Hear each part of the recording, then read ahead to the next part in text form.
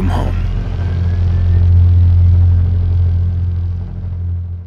Welcome ladies and gentlemen, my name is Apoqsi, and some viewers said they would like to see my planned character build for Fallout 4 for my first playthrough, so I decided I'd bring that for you all today. My character build was done on the website vault111.com, which is linked down in the descriptiones below, and this is where you can build your character as well. It allows you to build up your special attributes and perks for the beginning game, preparing you for the launch date of Fallout 4, which is only 8 days away. So let's go ahead and jump right into my character build for Apoqsi. I mainly based my special attributes off what perks I will be supplied with at the beginning of the game as I will eventually be able to max out all my special and perks, but that's not going to happen for a bit so I decided to take into account what I'll need and want for the beginning of the game. So let's go ahead and just give you all the information in one go. I'm going to be giving you guys how many points I put into each attribute and then giving you all the perks that I get with that and then also if there's any other bonuses that I get with that I will be telling you that as well. For strength I chose 4 as this will keep my carry weight at a decent amount of 260 and also give me access to the perks Iron Fist giving me an unarmed bonus, Big Leagues giving me a melee bonus, Armorer giving me access to base level and rank 1 armor mods, and Weaponsmith giving me access to base level and rank 1 melee weapon mods, giving me a well-rounded start on strength. For perception, I chose 4, as this will start me off with the perks Pickpocket, giving me a higher success rate for pickpocketing, Rifleman, giving me a bonus with non-automatic rifle damage, which will be very good for the beginning of the game, because that's usually what type of weapons you get near at the beginning of the game. Awareness, showing me the level and damage resistance of highlighted enemies in VATS, and Lockpick, giving me a higher success rate in lockpicking, giving me a good start on all the essentials of Perception. For Endurance, I chose 3 as this will start me off with 95 hit points, and the perks Toughness, giving me a bonus on damage resistance. Lead Belly, reducing the radiation from contaminated food and water, which will be great for the beginning of the game. And Life Giver, giving me a bonus of total hit points, which will,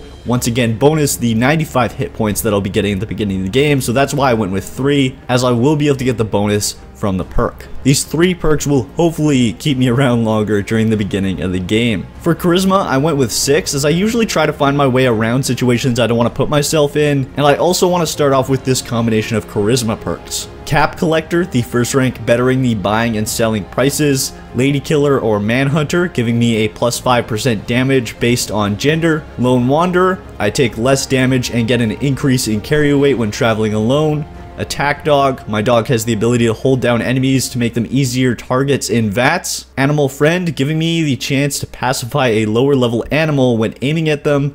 And Local Leader, making me able to establish supply lines between my workshop and settlements. For intelligence, I went with 6, mainly for the access to these rank 1 perks. Vans, showing me the best path to the map indicator while in VATS.